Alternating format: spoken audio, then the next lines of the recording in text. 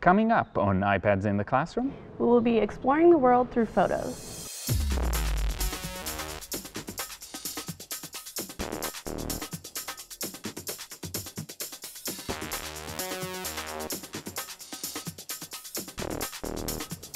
Hi, my name is Guy Trainin. And my name is Ashley Roki. And this is iPads in the Classroom from TechEdge. And today we're talking about exploring the world through photos. Um, one of the things that iPads especially allow you to do is really try to go out there. So you can go out with the device, but you can also use the device to go places. Mm -hmm. So let's start. So the first app that I found was called Sphere 360. Mm -hmm. And basically what this app allows you to do mm -hmm. is go virtually anywhere and it takes the photograph to the next level. So um, you can see there's various um, categories to choose from. Mm -hmm. So we'll just go to beautiful bridges, for example. And it will bring up several photos that people, or spheres that mm -hmm. people have made. So we'll do Venice early morning. Okay. And as you can see, as I move my iPad, mm -hmm. it looks as if I am right there right on the there. bridge. And you can go all the way, well, as far as the person makes it available to see. Mm -hmm. But this would be very nice for kids because it takes it an extra step further. It's not just like looking at a photo, it's like they're actually there. Yeah, and you can peek behind the corner kind mm -hmm. of mm-hmm. thing. It's like what was behind the person taking the picture? Well, I'm turning around, I can see that. I love that. And um, we talked a little bit, and that's something you can use when kids are making a report about a specific place. So go back to, let's go back to the bridges and see what we can see. Um, Here, my birthplace is Switzerland. Let's try that. Okay. That's in Lucerne. So you see that the um, load takes a few minutes because there's a lot of information. And all you simply up. do is move your, your iPad and you can see around the lake and around town and you can see the bridge itself where they took the picture. So that's a great way and what I love about this one is it's just the visual information. Mm -hmm. There's not a lot more. There's a location, there's the visual information, everything else the kids have to explore. So um, can you create ones? You can, and I talked about how with you about how mm -hmm. this mm-hmm. would be good for kids to create if they were on a field trip, for example, yeah. and they could share that. Um, but it is a little difficult to get used to. So if you go down here to the bottom, you have this plus, mm -hmm. and the middle button it comes up and tells you what each of these is, and so record. And to record, it has you go back to this mode. Oops.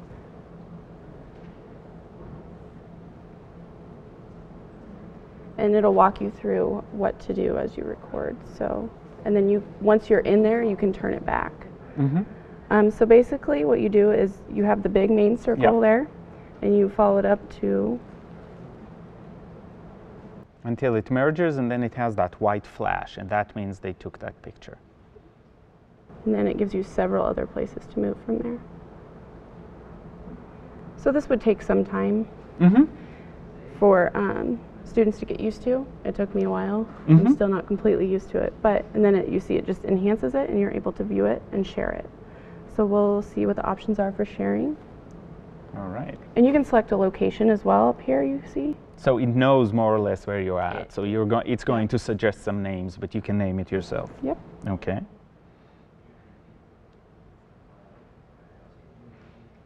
Are we uploading it? Yep.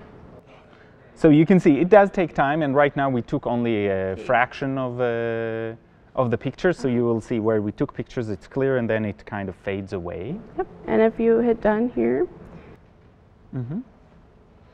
So now it's going into the cloud, mm -hmm. and then you can share it. And other people can like it and uh, potentially comment. Yep. And you, it has like a favorites, so you can mm -hmm. favorite different um, spheres that you look at. So I just thought this was an overall great app for this would be good for enhancing lessons mm -hmm. even if you were teaching about a place or social studies especially. Yeah. So, yeah. And if you are a student and you're making a presentation about a place, this might be a, a way to do that as well. So I'm looking, for example, at uh, Hoover Dam And you can see the dam in the distance here. I'll share this out there. So here it is, and I can easily imagine, here you're seeing the Hoover Dam from the bridge across, and you can see down to where the river meets and where the lake is above and the layers of uh, exposed rock where the water have been and all of that. So I can easily see a student who is presenting about Hoover Dam uh, using this as the main visual, showing showing kids around, showing the bridge, showing the desert around and all of that, and being able to actually describe the process, describe what happens and all of that. So you can layer it. It's a very different way to do this and it's much uh, for me it's similar to being a tour guide where Mm-hmm. you're right there and you're pointing at what everybody else is seeing and uh, participating in a totally different way so that's something i can see being used in a classroom whether they use something that somebody else created or as you said they go out there to the zoo or to a site out and they take these pictures and now they're sharing them mm-hmm. with parents or with classmates or whatever it may be Yep. all right. So this one was Sphere 360, right? Yep. Okay. The next one I want to talk about is called Amazing World. And Amazing World is uh, really uh, from National Geographic. And it's a series of photos that um, have no uh, written information on them that I can see, but they are fantastic photos. And the way I can see that as uh, especially as starters for writing. So you take a uh, picture like the one we have in front of us, or maybe um, let's try to get a different one. Uh, this one, you can see that there are fantastic photos. They're very colorful.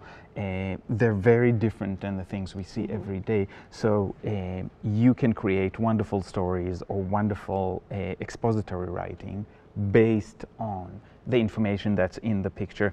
And it's another way to get daily writing done and not just write about what you did last weekend or the usual prompts we use with young children, and even with older children. Um, yes, it's always kind of nice to give a challenge to write about something really boring, but I actually really like this rich visual information and the way that kids can interact with it. And lots of sets, there are over 500 uh, photos, and you can actually enhance the picture. There's a small retina button, and that increases the quality of the picture so you can get it a little bit better. But even at the raw level, that is a great photography, which National Geographic is well known for.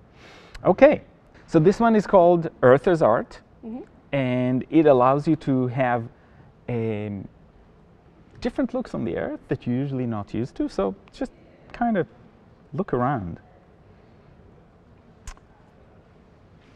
Mostly satellite photos. Mm-hmm. So this is a way to look at the Earth, and the difference is from the last one is This one has text, Yeah. which is very beneficial, I find. Yes. But it also great photos. Yes, so it has these awesome photos and it has text. I think some of the text is just because when you're looking at the photos, you, you often don't know anything about mm-hmm. where it's at. So uh, It's that's it, necessary.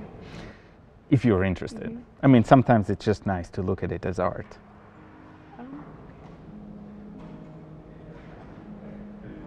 It's got nice music too. Guess it, this is just a telling you. What's, okay. Yeah?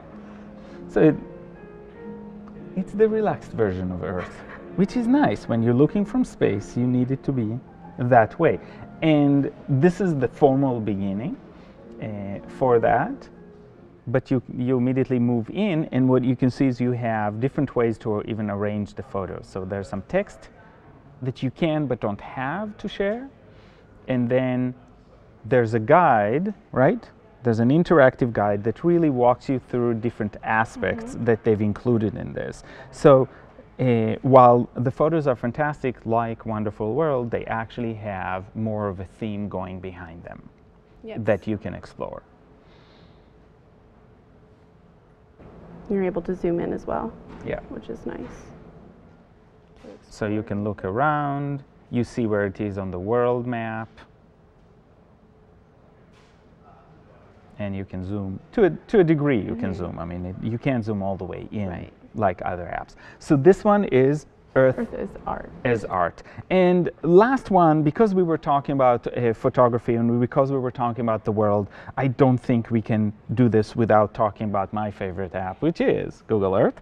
And um, I just think that there's such rich uh, data that is included in Google Earth that it's always worth uh, looking at if you want kids to look. And Google Earth has embedded layers, and we've had problems over the last few years uh, working with Google Earth because it kept crashing because there's so much information in there, and we didn't have good enough networks, and we didn't have uh, good enough, uh, I would argue, engines in the iPad itself. It worked better on the computer, but it's getting better all the time. And this is a visit we're right now looking at the tip of South Africa at Cape Town.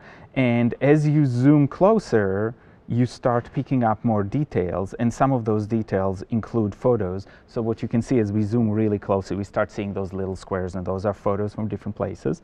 And so if you click on them, uh, the photo would come up. This is a photo of a house.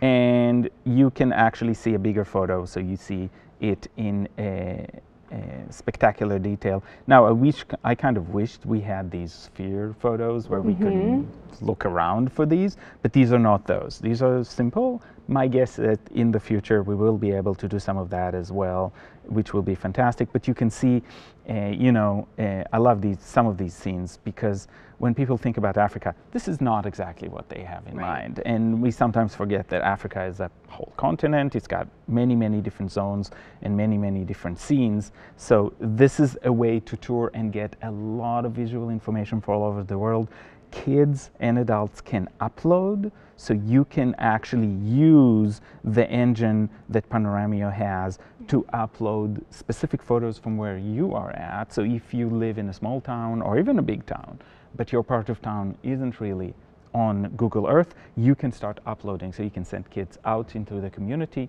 when you're learning about community, take pictures of the community, not of people, and then share uh, share them in this way.